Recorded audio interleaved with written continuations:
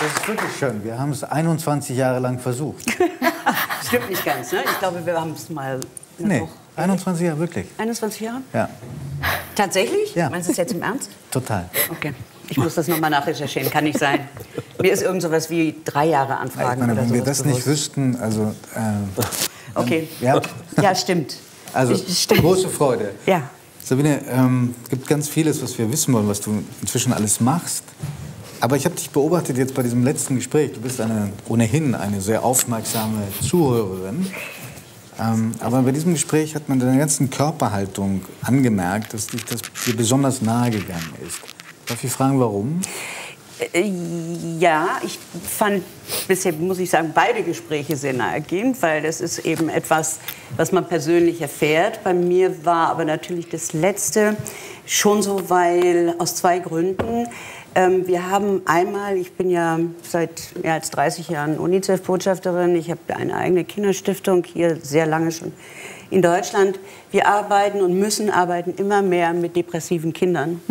Wir haben eine so hohe Zahl mittlerweile, ich will die 100.000 gar nicht aufzählen, aber an wirklich jungen Schülern, die schon sehr depressiv sind, ohne dass sie jetzt durch alle Medien gemobbt worden sind durch alle Social Media. Woher kommt das? Woher kommt es, dass es so eine Volkskrankheit wird, die sich sogar auf die Kinder auswirkt? Und das Zweite ist, dass ähm, ich etwas anderes erlebt habe. Mein Vater ähm, war dement Ende und auch dieses ist damals noch ja, sehr schwer gewesen für Angehörige, wenn man nicht wirklich Hilfe hat und sich auch Hilfe aus solchen Büchern holen kann. Man holt ja alles hervor. Man, Alles, ja, alles. Alle persönlichen Gespräche, man versucht ähm, wirklich, wie du schon sagst, alles dreht sich darum und in der Familie darüber zu sprechen. Und ähm, insofern, ja, gerade als das Wort eben schwer, habe ich auch gemerkt, dazu zu antworten. Erleichterung, bei uns war es auch auf gar keinen Fall eine Erleichterung, sondern es war die einzige Erleichterung eben plötzlich, diese Angst nicht mehr zu haben, dass wieder etwas passiert oder dass wir, aber wir haben ihn auch, ähm, ich sage mal, bis zum Schluss zu Hause behalten und alles äh, selber machen wollen. Also es ist, es ist dann schon eine schwierige Zeit auch für die Angehörigen. Ja. So bei der Krankheit. Sabine, ähm, wir haben ja ein paar Rückblicke gesehen. Ich habe dich ähm, während deiner Fernseh großen Fernsehkarriere immer um eins beneidet. Ähm, angeblich bist du einer von fünf Menschen in der Bundesrepublik, die vor Auftritten kein Lampenfieber haben. Du doch auch nicht. Oh, Doch, Giovanni schon. Doch, Giovanni schon? Ja, geht er auch offen mit um, darf ich sagen. Ne? total. Wir haben beide immer, wenn wir da hinter diesem Vorhang stehen, gucken wir uns immer an und wollen nach Hause eigentlich. Gut. Und dann schubst uns irgendwer rein und dann stehen wir da und dann muss es irgendwie losgehen. Nach Hause, wenn die Aufregung klein ist. Sonst, Okay, ähm, verstehe. wie, wie, wie, wie hast du das immer gemacht? Wie machst du das? Es ist ja nicht so, dass ich keine Anspannung empfinde, aber Lampenfieber ist ja das Gegenteil davon oftmals, sondern man verliert eigentlich eine Konzentration, wenn man zu viel Lampenfieber hat, du weißt, wovon ich rede, sondern eher diese positive Anspannung, sich nochmal zu konzentrieren, ist das Wichtigste dabei. Und das ist eigentlich etwas, das hat, glaube ich, jeder, mal zu sagen, okay, wie läuft jetzt der Film ab? Aber nicht, dass ich jetzt eben zitternd auf die Bühne gehen würde oder so. Das habe ich Nie komischerweise nie gehabt. Ne? Auch nicht, als du mit 29 die jüngste Tagesthemenmoderatorin ever warst. Nein, habe ich nicht gehabt. Ähm, erstens war ich nur noch drei Tage, dann war ich immerhin schon mit 30 die Jüngste. ähm, aber Dagmar Berghoff hat das mal beschrieben. Sie saß neben dir und dachte, hey, was ist denn da los? Ja. ja? ja. ja, Dagmar hat mich auch ein paar Mal gefragt, ob das denn so. Hm, oh ja. Aber ähm, ich glaube, ich habe da mehr dieses, äh, dieses Gefühl gehabt, als die Entscheidung fiel und ich aus der Intendantenrunde den Anruf bekam, also der Entschluss sei einstimmig, ob ich es machen würde. Und man hört sich so sagen ja und denkt, nein, machst du nicht. Aber letztendlich habe ich mir gesagt, was kann passieren? Ähm, ich muss ja keinen Zug fahren oder ähnliches, wo ich Menschen also nur wirklich zu Schaden bringen kann. Am Ja, Ende ist nur gut. Fernsehen. Ne? Ja, stimmt. also was kann ich machen? Ich weiß Gott, kann, es Ja. ist kein Zufall. Weißt du, wenn ich ähm, heute so viele sehe, äh, junge Leute, die sagen, ich wage etwas, ich mache etwas. Früher war das sicherlich ungewöhnlicher, etwas zu wagen, aber zu sagen, okay, ich mache es. Und wenn es schief geht, gut, da habe ich auch eine Erfahrung gemacht. Es ist nicht schief gegangen. Es war dann noch zehn Jahre weiter, die Tagesthemen. Es lief Und dann- äh, dann dann, mit beiden Kollegen sehr, sehr gut. Sehr, sehr gut, Und, ähm, ja, aber es hätte natürlich auch schief gehen können. Davor darf man, Beide glaube ich, Kollegen, keine Angst haben. Friedrichs und Ulrich Wickert waren die beiden Kollegen. Genau. Und dann noch mal zehn Jahre Sabine Christiansen. Mhm. Haben denn ähm, die Zuschauer schon alle gemerkt, dass du nicht mehr auf Sendung bist? Es könnte Menschen geben, die seltener reingucken, vielleicht am Sonntagabend. Es kann natürlich auch Menschen geben, die in den letzten fünf Jahren in New York gelebt haben oder sonst was, vielleicht auch noch nicht mitgekriegt haben. Ja, David Garrett zum Beispiel. Zum Beispiel. Zum Na, David ist ja öfter mal da, das geht schon. Aber Hast du es selber mal es erlebt? gibt, es gibt natürlich immer so, so lustige Geschichten, wenn man jetzt ähm, im Flieger sitzt aus Paris oder so, dass Menschen es wirklich noch nicht so ganz mitgekriegt haben. Natürlich auch, manchmal werden Sendungen auch verwechselt oder so und dann kommt jemand und sagt, ähm, ah, was gibt's denn morgen? Wer kommt denn? Denk ich mir, wohin? ja, wohin? Na, wer kommt denn aus der Politik? Ah, sag ich, bei Anne Will am Sonntag. Ist das in der ARD, Anne Will? Das gibt's dann sowas, ja? Oder dass eben ähm, jemand einfach sagt, äh, ah nee, das war ein Ehepaar, die sagten für einige Zeit, das ist aber auch schon drei Jahre her, na gut, jetzt ist die Sendung ja auch schon sieben Jahre her. Ähm, also ich habe sie schon drei Jahre nicht mehr gemacht zu dem Zeitpunkt, äh, vier. Und äh, die kam im Flieger und der Mann guckt seine Frau an, guckt mich an, guckt seine Frau und sagt, ich habe dir immer gesagt, das ist nicht live, weil das war ein Sonntagabendflug. Das ist nicht live. War aber schon drei Jahre nicht mehr live. Also war auch egal. Aber ich finde das immer sehr nett, muss ich sagen, weil so viele heute noch, äh, wenn man sich dann, nur mal, wenn man nebeneinander sitzt und sich unterhält, sehr viele immer noch sagen, was halten Sie denn davon, von der Politik jetzt und wie ist es? Und einfach ein, ein sehr nettes Gespräch suchen. Ich muss sagen, wir haben tolle Zuschauer gehabt und das ist, hat sich auch heute noch fortgesetzt und das finde ich sehr gut so. Also mit den Verwechslungen, das kann ich nur bestätigen. Ich werde zum Beispiel gerne mit Sandra Maischberger verwechseln. Na, da muss man jetzt schon viel Fantasie aufbringen. Nein, offenbar nicht. Offenbar nicht. Ja Nein, ich will es auch nicht. Ich meine, in der Sendung und während die Sendung lief, gab es natürlich in abgemilderter Form, als es es heute gibt, in deinem Chor des Hasses, kamen ja verschiedene Politiker dazu zu Wort. Aber bei uns äh, war es auch nicht gerade harmlos. Wenn man sich um ganz bestimmte Mhm. Mich- Themen mich- mich gekümmert hat, war das schon arg. Wenn du so zurückschaust, hast du auch das Gefühl, dass du, so wie wahrscheinlich alle Menschen, auch in einigen Punkten doch sehr Kinder des Zeitgeistes waren? Also während deiner Sendung hat man ganz viel gesprochen über den Umbau der deutschen Wirtschaft, der deutschen Gesellschaft, des Arbeitsrechts, ähm, der äh, Beschäftigungsverhältnisse. Ähm, hast du das Gefühl, dass das vielleicht auch übertrieben war, was äh, in deinen Sendungen häufig propagiert wurde? Naja, man muss immer sehen, es war die Zeit der Agenda und es war die Zeit der Änderung. Nein, erst des Neoliberalismus. Des, genau.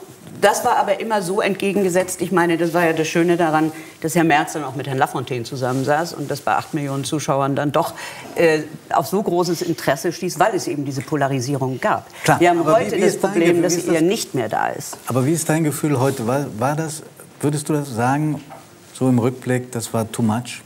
Ich weiß nicht, ich kann es so nicht sagen, was too much war, weil wir uns von vornherein immer mehr, als es die heutigen Sendungen tun, da waren wir etwas anders in der Ausrichtung, sehr stark eben auch um Außenpolitik gekümmert haben.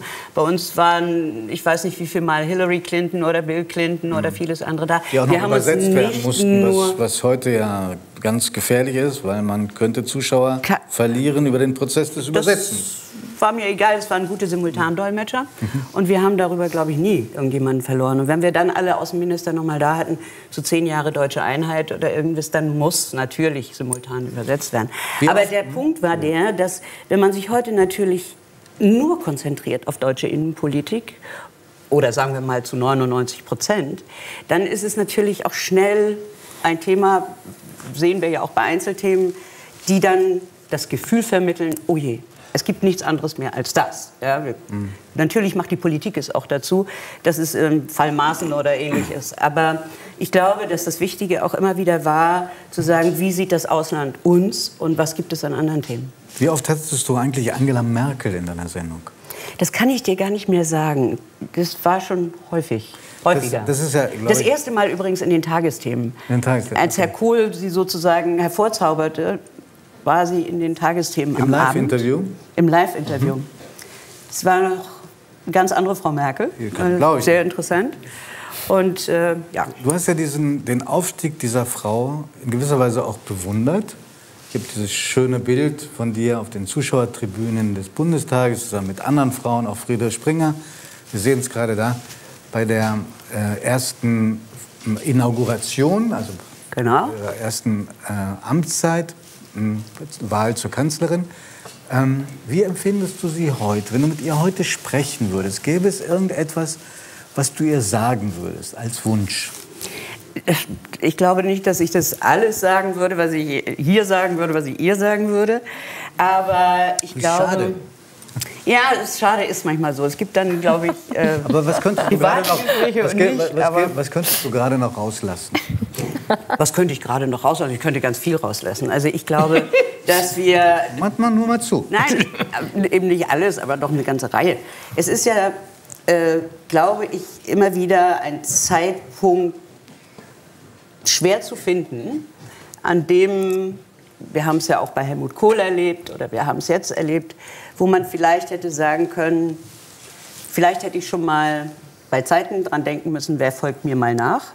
Da wir das ja nicht wie die Amerikaner quasi automatisch tun müssen, weil wir nur zwei, dort nur zwei Perioden zur Verfügung haben, sondern hier das auch länger gehen kann, ist es manchmal so, dass man vielleicht dadurch mehr gewinnt, wenn man einen Unterbau schafft und Nachfolger schafft, die eine Volkspartei, sofern man das heute noch von Parteien sagen kann, bei der SPD sieht es ja auch ähnlich aus, es ist ja nicht nur ein CDU-Problem, wo ich dann auch wirklich aus einem, aus einem vollen Topf schöpfen kann und sagen kann, hier ist eine Riege, die folgt mir nach, als Ministerpräsidenten, als starke Politiker, die sich auch schon bewährt haben.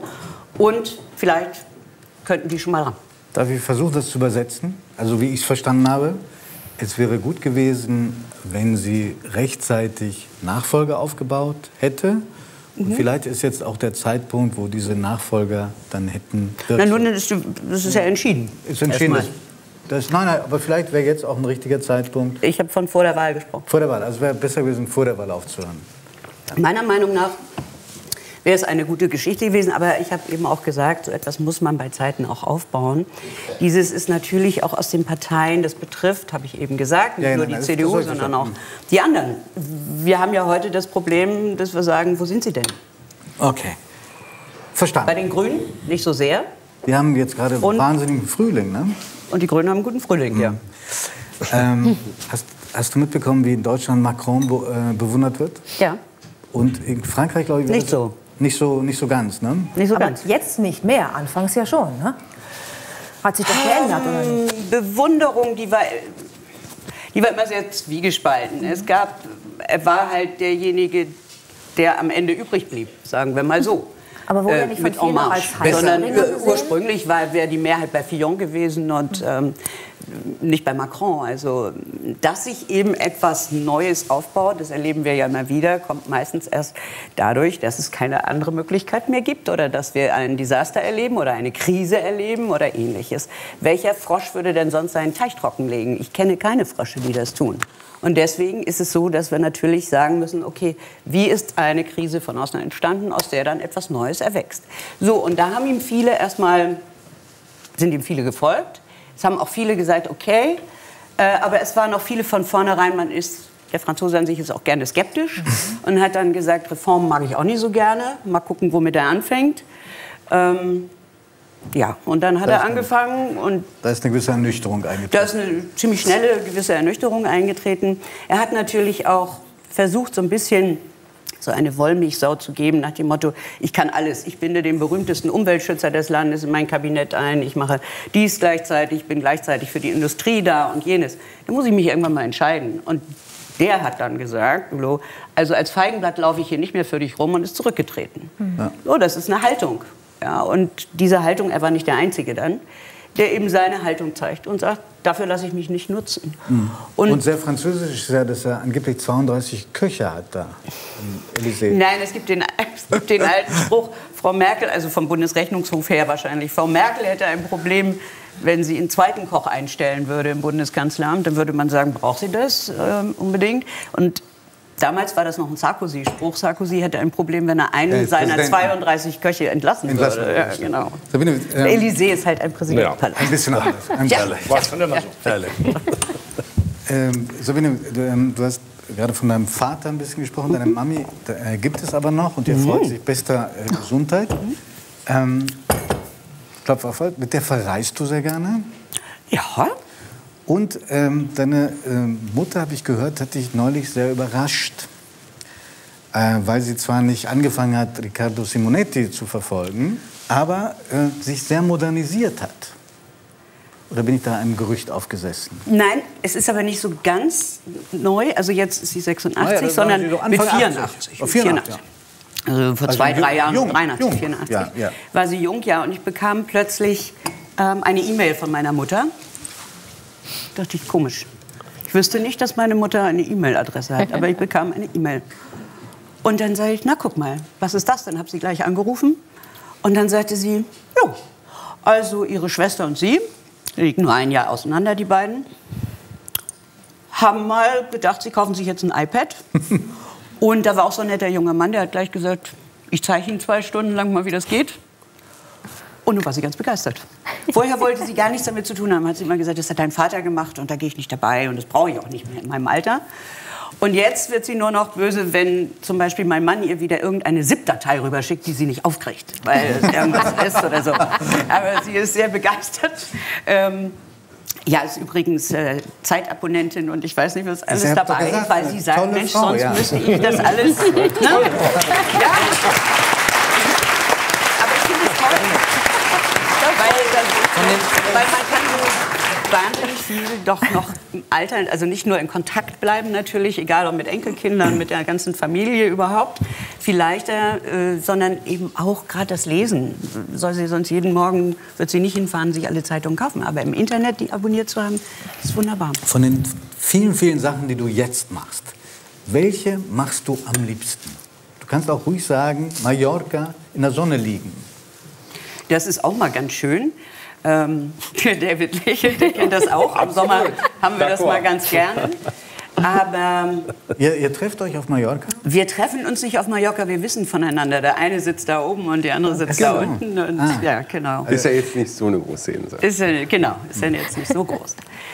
Ähm, ich glaube, dass die Tätigkeit, ich habe dann ja absichtlich nach der Sendung gesagt, ich möchte nicht mehr weiter moderieren, eine Sendung machen, weil ich mich sehr auf das Geschäftliche konzentriert habe. Ich habe seit 16, 17 Jahren die eigene Produktionsfirma. Wir machen sehr viel im Investment, auch im Start-up-Bereich.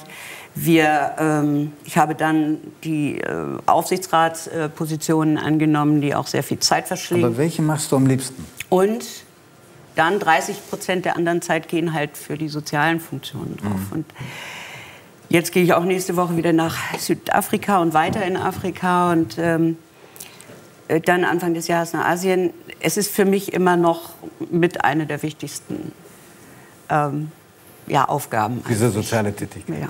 Okay. Und ähm,